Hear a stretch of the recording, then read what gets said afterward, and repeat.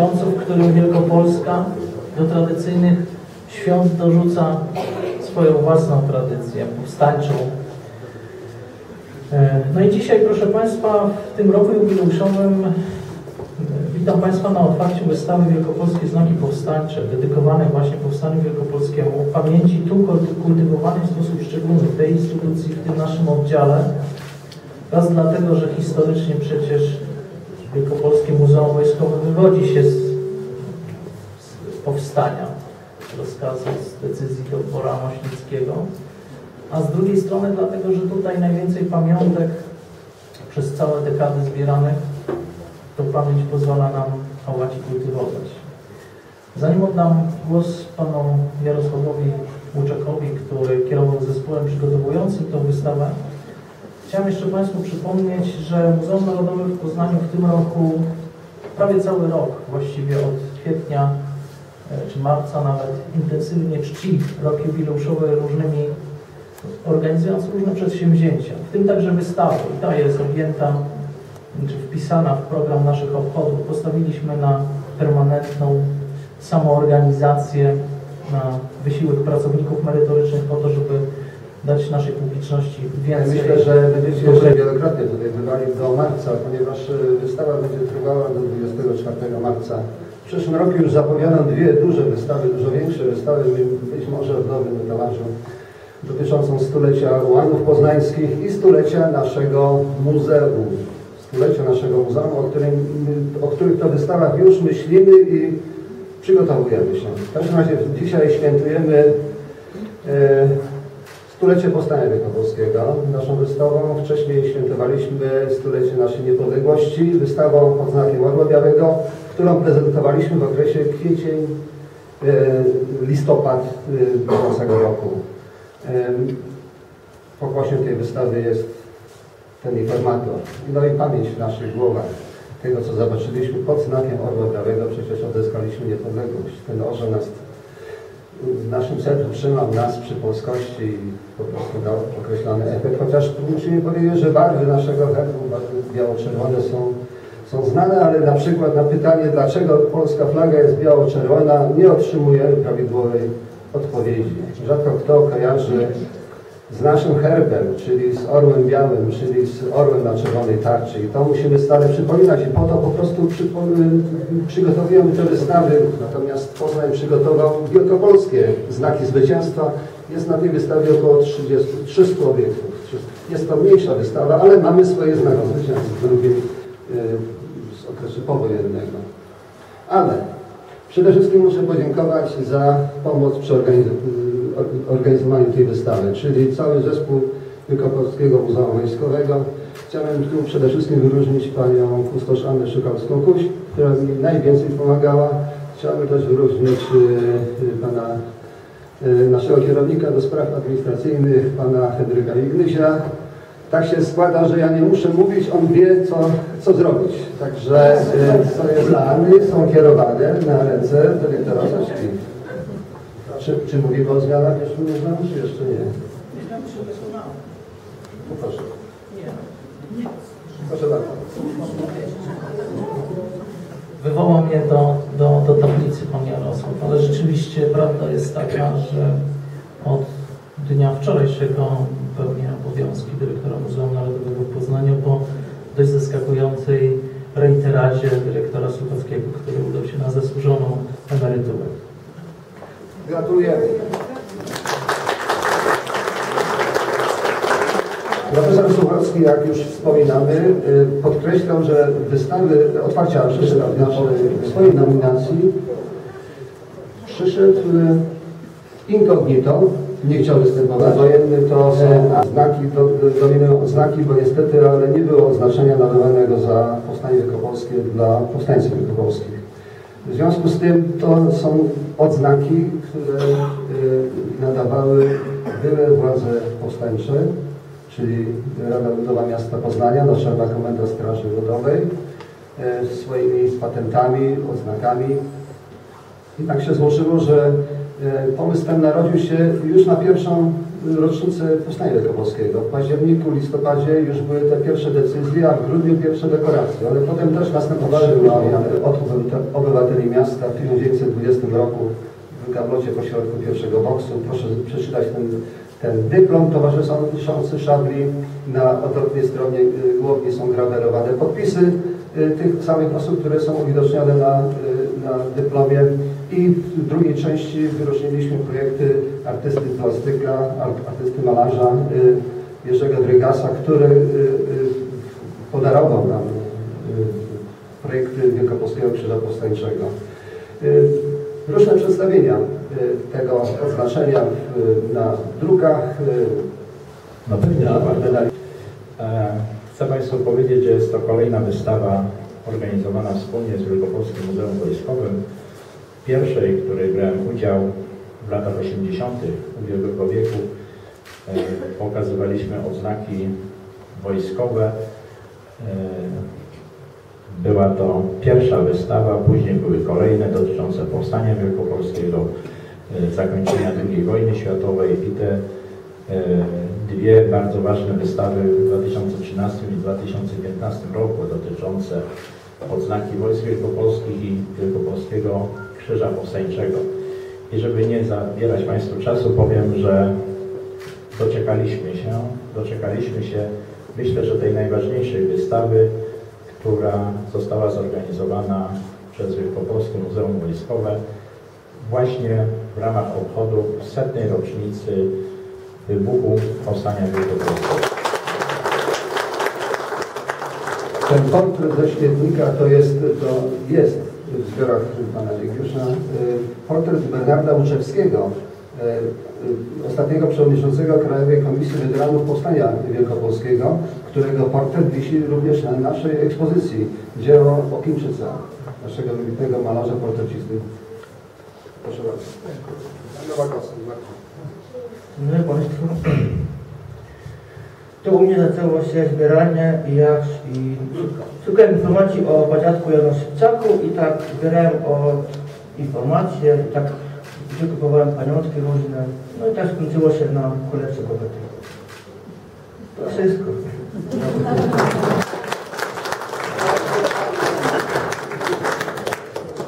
Oczywiście wystawa odznak i dokumentów towarzyszących nie może się obejść bez mundurów, y, które, które znajdują się w naszych zbiorach y, i broni, która też znajduje się w naszych zbiorach, naszych zbiorach i bardzo poproszę Panią Kustosz Anię Szykawską-Kuś, aby powiedziała, że, że w tych gablotach znajduje się coś jeszcze. Proszę bardzo.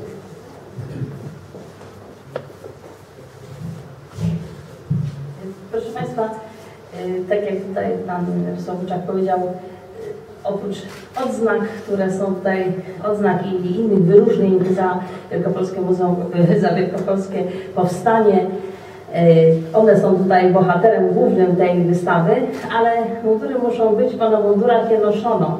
I z naszej kolekcji mundurów, które dotyczą Powstania Wielkopolskiego, mm, to znaczy wojsk wielkopolskich, także i weterańskich. Wybraliśmy tutaj te, które dotyczą rzeczywiście akurat e, weteranów i e, w pierwszej części, zaraz przy wejściu, w pierwszej gablocie zobaczycie Państwo trzy mundury, z których jeden jest wypożyczony od prywatnego kolekcjonera. Wojsk wielkopolskich, one noszone były przez weteranów Powstania Wielkopolskiego, przez powstańców i także właśnie przez byłych żołnierzy wojsk wielkopolskich do 1939 roku.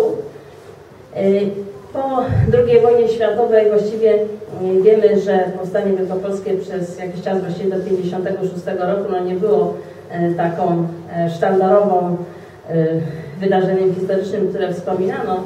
I właśnie wystawy, odznaka jest w gablocie, ale bez wstążki. Natomiast jeśli położymy ze wstążką, to będziemy mogli pokazać stronę odwrotną. Jak wyglądała strona odwrotna. Także wystawa jest żywa, my tu pracujemy, e, będziemy uzupełniali i e, słowo głosili, gdy przyjdziecie e, Państwo na, nawet prywatnie na ten temat, bo temat jest ważny. To przecież nasi dziadkowie tam już pradziadkowie dla niektórych walczyli o odzyskanie niepodległości. To nie tylko stulecie niepodległości państwa polskiego, Rzeczpospolitej, ale również stulecie powstania wielkopolskiego, jak niektórzy mówili kiedyś, powrotu do macierzy. Czy ja, czy pan Tadeusz Jeziorowski, nasz były kierownik, zdecydował się podejść tutaj i y, skomentować to? Nie ukrywa się, stoi godnie i czeka na swoje Dziękuję bardzo. Ja już dawno odbyłem od tego, żeby być przywoływany do tablicy, a dzisiaj się spotkałem z takim właśnie wołaniem. Dziękuję bardzo Panie Jarosławie, dziękuję za tą pamięć o mnie jeszcze. Mm, Tak, tyle lat tutaj spędzonych ma swoje znaczenie.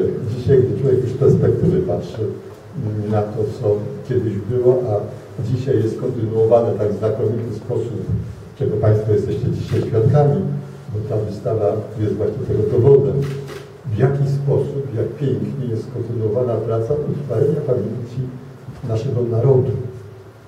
To nie są wielkie słowa, bo pamięć narodu to jest pamięć poszczególnych naszych osób, których tworzymy ten naród. Skąd wzięliśmy się przecież na tej ziemi? Mamy swoich przodków, mamy swoje znaki.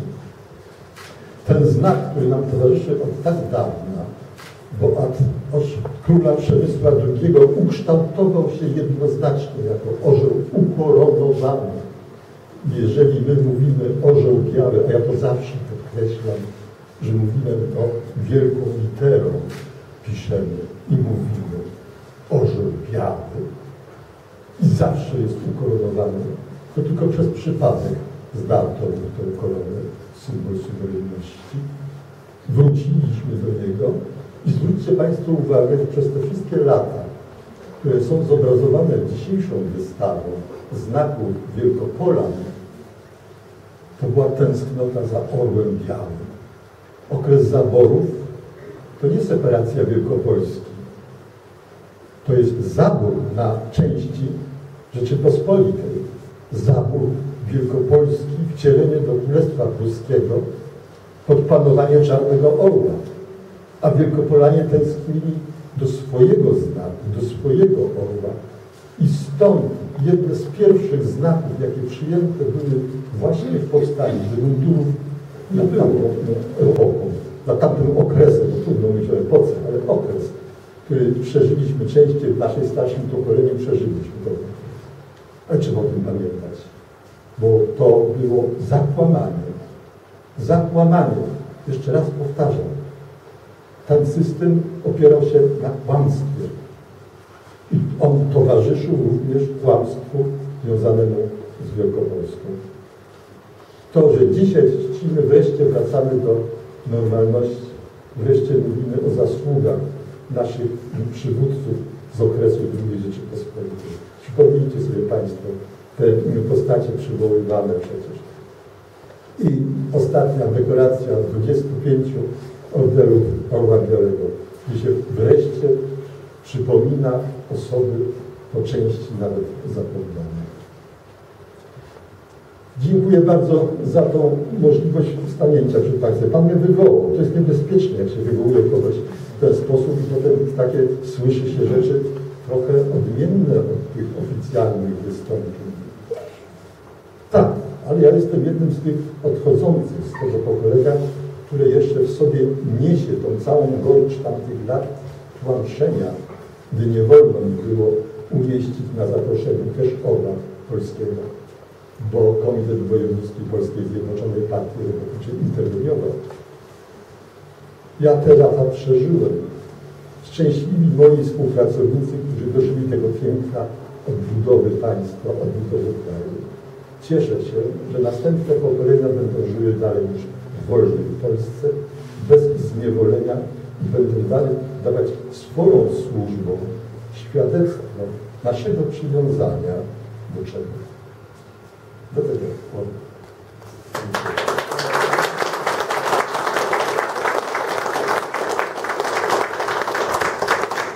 Dziękuję. Poprawiał, ale uzupełnię. Otóż e, pomnik powstańców wielkopolskich miał być w latach 30. miał stanąć na Placu Wolności. Miał stanąć. Ogłoszono konkurs. Wystawa projektu była na terenie Międzynarodowych Targów Poznańskich. E, nie został zrealizowany. A było szkoda, dlatego że e, autorem wybranego projektu był Władysław Marcinkowski. Czy pamiętamy o nim? Kim był Władysław Marcinkowski?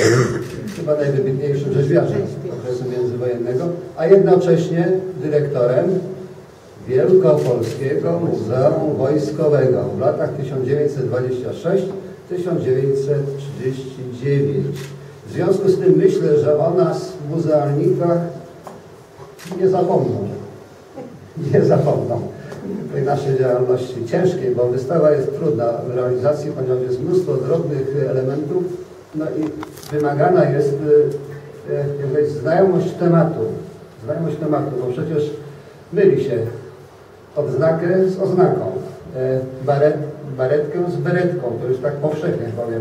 Natomiast e, e, dla mnie, czy to jest odznaka na wystawie, czy to jest odznaka pamiątkowa szkoły podoficerów e, artylerii Wojsk Wielkopolskich, czy szkoła podchorążych artylerii Wojsk Wielkopolskich. Nie mam, nie mam stuprocentowej pewności. Napisałem podoficerów, a może podchorąży. Czyli te, dowiadujemy się do końca tych szczegółów, o których, e, o których e, e, niewiele jest w literaturze czy w w- Powiem jeszcze na koniec ostatnią rzecz. Otóż to jest spuścizna niewielka. Pan Eligiusz powiedział, że jest ich sporo. Nie jest sporo, jest bardzo mało. Wojna, druga wojna światowa przyniosła ogromne zniszczenia w naszej spuściźnie. Ogromne. Wydano ponad 30 tysięcy odznak pamiątkowych wojsk wielkopolskich. 30 tysięcy. Do tego było 30 tysięcy patentów. Do tego było 30 tysięcy legitymacji. Prawie 100 tysięcy. A my, na wystawie mieliśmy 100. I to uważamy, że to jest duży zbiór. Zobaczcie, jakie ponieśliśmy straty. Niektóre obiekty na wystawie są w bardzo złym stanie zachowania. Nie poddajemy ich konserwacji właśnie po to, żeby za, y, pokazać, że jak, w jak złych warunkach były przechowywane, bo były ukrywane przed najeźdźcą niemieckim. Ukrywane. Były palone. Były niszczone. Nie, nieliczne przetrwały. Ale choćby przez to, że przetrwały, możemy mówić o przeszłości. O stuleciu naszej niepodległości, o stuleciu powstania wielkopolskiego. Czy jeszcze ktoś chciałby zabrać głos?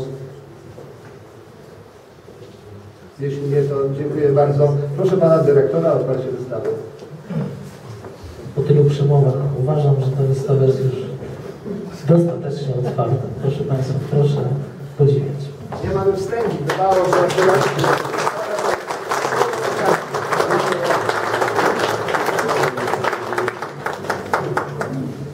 E, Proszę zapoznać się z wystawą, natomiast potem... Tak, proszę. Pani Krystyna Zarzeczańska. Teresa Zarzeczańska, Pogrączynia, y, pogrączyni Bałtyku i... kanału La Manche, ale przede wszystkim żona e, dokumentalisty i e, tego, który przywrócił tablicę po, e, marynarzy Powstaniu Wielkopolskim. Proszę pamiętać, że też marynarze polscy pod okupacją niestety walczyli w Powstaniu Wielkopolskim.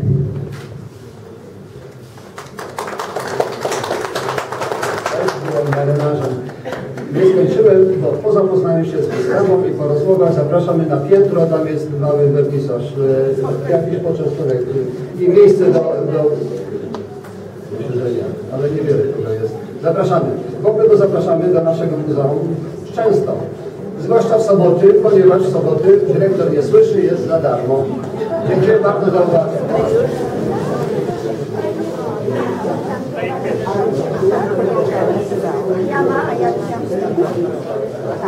Ja byłam za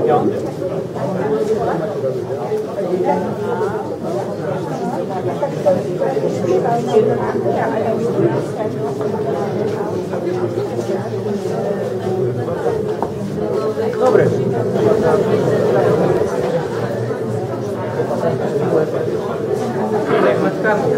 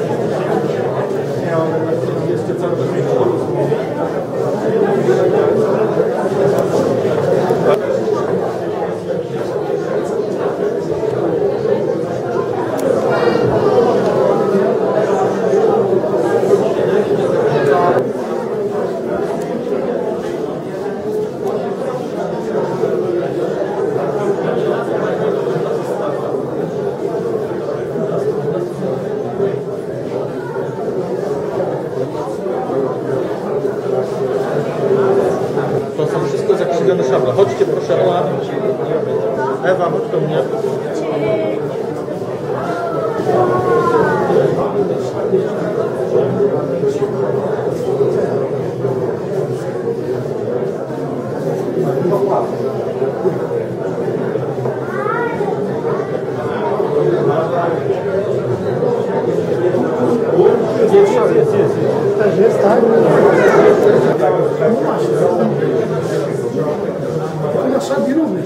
2度ぐらい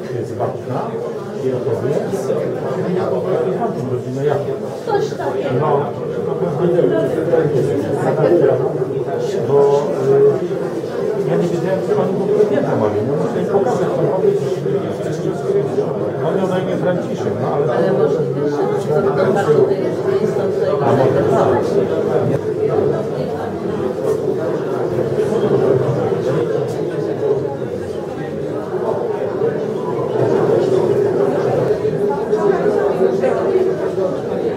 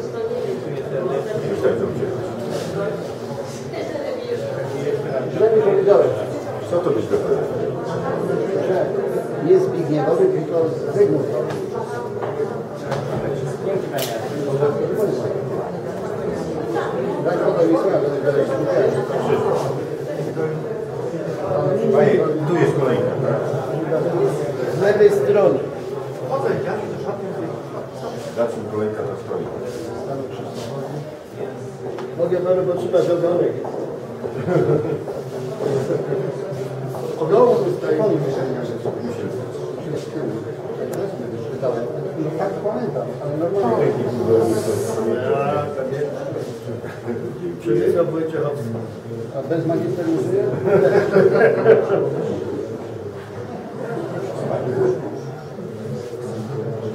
Wiesz, ile ja mam której nazwisk musiałem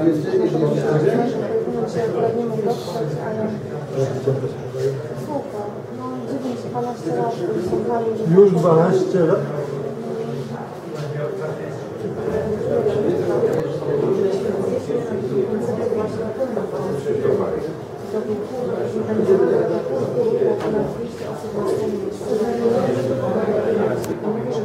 Shorty i sweterek. Także będą na pewno motocykle na scenie, też jakaś e, z e, Operą Warszawską. No, no, no, nasz ta opera ostatnio, nasza opera właśnie się buduje, e, przez inscenizację do może, może Narodowy.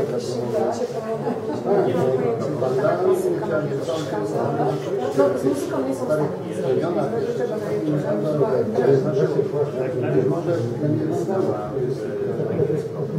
czego Europa. Się znam, że zawsze śmieszno, bo pochodzimy często i Tak?